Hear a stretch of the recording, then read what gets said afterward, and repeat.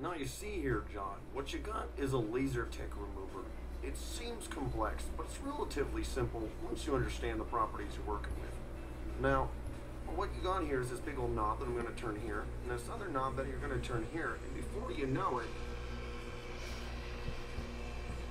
oh, that might have been a bit too strong. I'm sorry. I may have accidentally killed someone.